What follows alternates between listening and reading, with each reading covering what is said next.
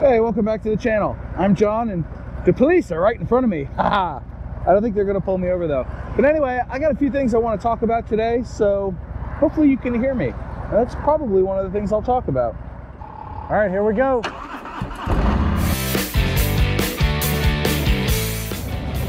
Oh, they put the speed camera back up. Look at that thing. Oh, those things are just, they are proliferating all over the county and state that I live in. And they're supposed to go to like some children's fund or schools or something, but I don't think they do. Anyway, it is a nice, nice day, 74 and overcast. Yeah, it might rain, but that's why I got the 360 cam up there. That I just love watching 360 footage. So I assume that, like me, other people like watching 360 footage, which is why I do so many tests with my 360 camera. Yeah, I said it three times. Anyway, the, uh, the 360 camera has a new lens on it, so yay for me. Turns out the package had four lens protectors in it, not two, so they're like uh, two and a half bucks, which is pretty cool.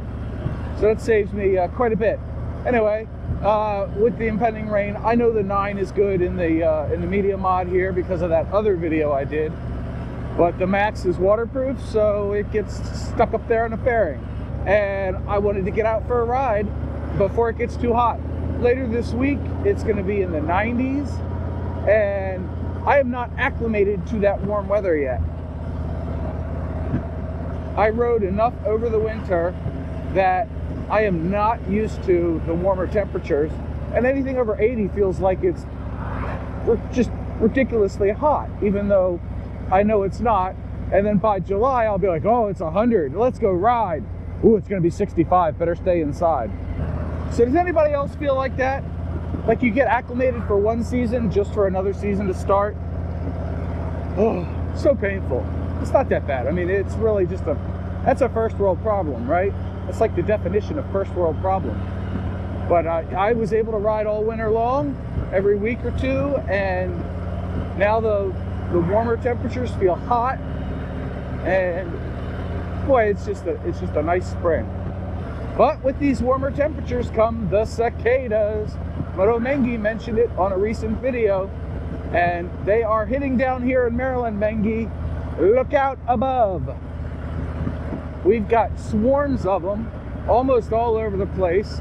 They're almost at the point where you can hear them with your windows shut at night. And I expect for the next few weeks that they're just going to get louder and louder. Yep, there went one right there. And the birds are feasting on them. It's, uh, it's pretty cool to watch. That bird swoops down, grabs one, and goes. And I have two little boys. So, what do little boys like to do with cicadas? They take sticks and they poke at the shells and then they find the live ones and they pick them up and they try to fling them around the yard. it's the funniest thing. But if you haven't seen a cicada, I will throw up some pictures of them. I will not abuse your delicate ears by trying to play the noise from them. It is annoying, trust me. But uh, yeah, the, the cicadas are coming. They're pretty much harmless. We had a discussion the other day on one of the motorcycle groups as to what you would do to protect your bike from the cicadas. And some people, they weren't going to ride their bikes. Uh, I've decided, obviously, I'm going to, but I just put another coat of that Meguiar's hybrid ceramic liquid wax on the bike, and I figure I'll just try to keep it clean. Man, I'm not going to give up riding for six weeks just because of some bugs. Although I, I might, I might be wishing for a uh, for a full face helmet here shortly. I know that the last time that Brood X, which is the 17 year cicada here on the East Coast, I know the last time it came through, I was on a scooter, helmetless. And I was dodging them one day and I missed. And one walloped me right right here in the forehead. And it left a welt and it hurt for a couple of days. I was not a happy camper. But such is life, and you move on. Now I've got a half helmet. If they get to be extra thick, I'll probably just drop the visor down. So, like I said, I'm not doing anything special for the cicadas. I'm just gonna roll with it.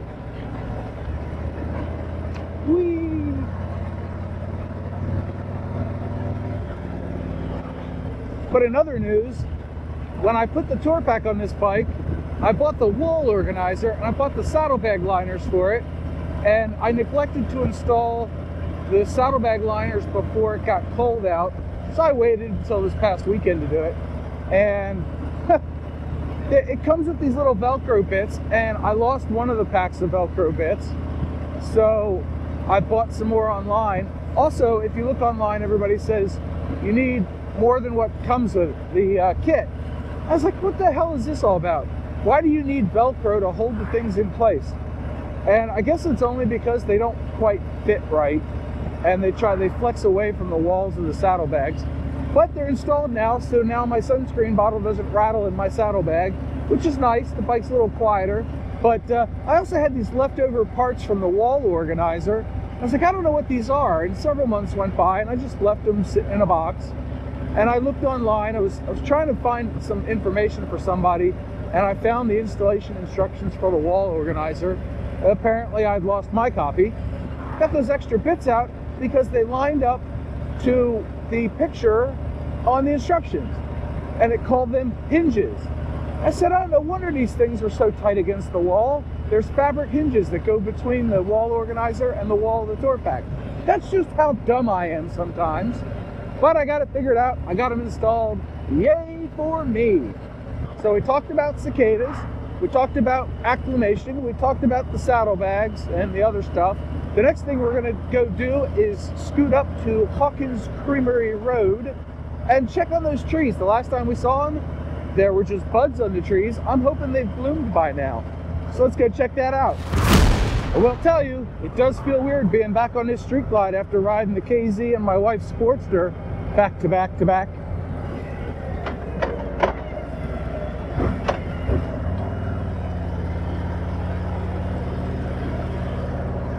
Yeah, but I'm getting back used to it again. it wasn't back to back to back, it was just back to back. Anyway, skip.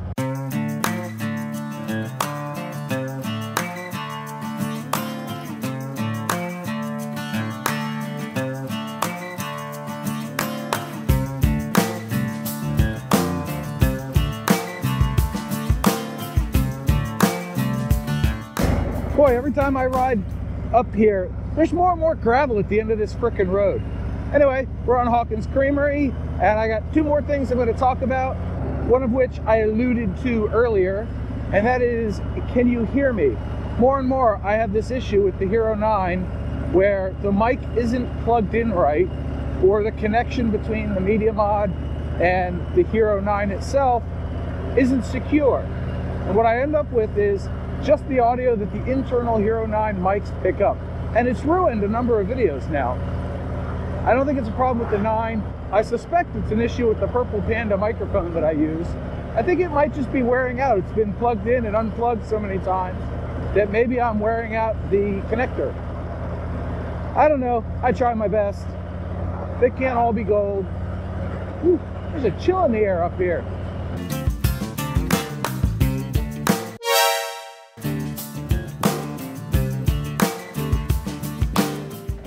Whoa!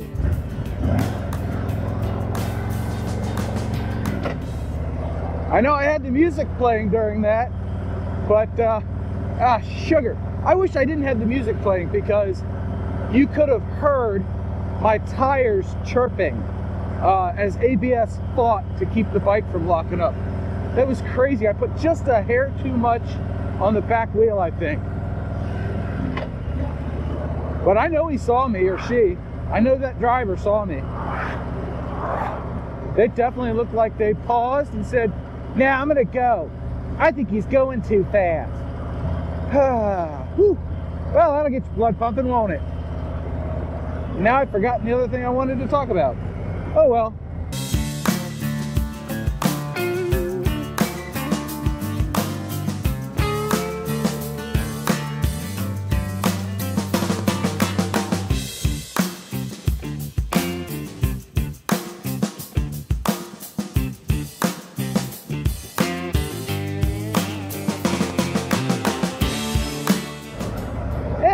Coming up to our trees.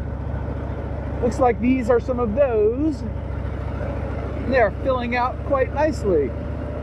and I've had this weird rattle this whole ride. And I'm pretty sure, yeah, it's this cup bouncing against my cup holder.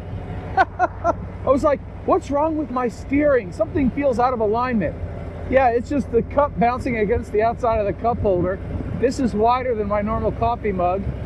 And so it's hitting the rim of the cup holder. How funny is that? Anyway, these are the trees. They're filling out. Yay!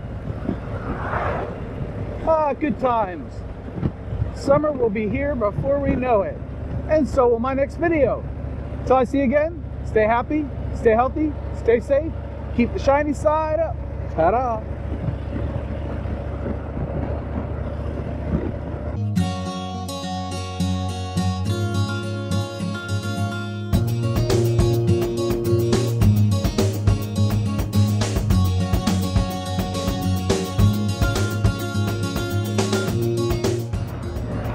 Guys were just messing around too much for my liking. And I had a passing lane, so I passed them. Yahoo! Dude, this guy over here, bebopping along, he's having a good time. Living his best life. Got his tunes, got his feet moving. he's grooving. That's hilarious. Oh my goodness. Moonwalk, moonwalk. Hell yeah.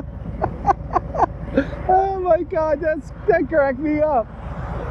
Oh man. That is definitely making it into the final cut. man, you see the craziest stuff out on a bike, right? All these people around me in their cars, they don't have a clue what's going on. But us guys on two wheels, man, we really see everything. You kind of have to, but still, it's great to see.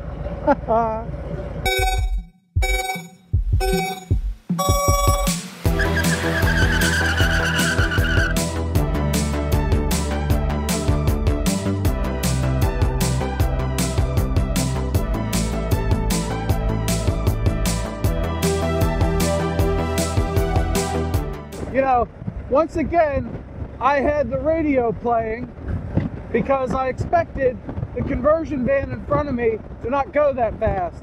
But I'll be damned if he didn't take off faster than that Jeep behind us. ah, who'd have thunk it? Well, that about wraps up that ride, doesn't it, folks? Hope you enjoyed it. If you did, please don't forget to like, share, leave me a comment with your favorite part, and leave me a subscription. I do appreciate it. And until I see you in the next video, stay happy, stay healthy, stay safe. Don't be a hazard like that guy. And uh, ta-da, keep the shiny side up. So here in this saddlebag liner, you can see that the Velcro is not even really sticking, but you can see up here it's stuck. And then over here, it's not, but I'll just have to touch it up there a little bit. Maybe, maybe bringing the lid down popped it out, I don't know. But uh, they're nice. They, they feel good and they stop all the rattles. And you can see I've got Velcro. Well, you can't see it, but I've got Velcro all around over here and here. The other side is much the same, except this one seems to fit slightly better. I think sitting in the trailer, they might have gotten squished a little bit. A little bit of heat will flex them and or make them more flexible, but there's my sunscreen and it doesn't rattle anymore. But they, they're not, they're nice. They add a nice touch you know, for what Harley charges for these bikes, they ought to come with the damn things. And then lastly, up here, you can see the hinges and you can see the Velcro here that they attach to. Yeah, these are nice. There's also an attachment point at the bottom of each of the three pieces. They move around a little bit, but they keep all your all your accoutrement, all your stuff in place, which is real nice. Just wanted to show you that real quick. Talk to you later, as Mike Haley 7 says.